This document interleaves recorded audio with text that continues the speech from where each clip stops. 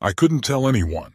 Even to myself, it might slip out of my mouth, I can't hold you again.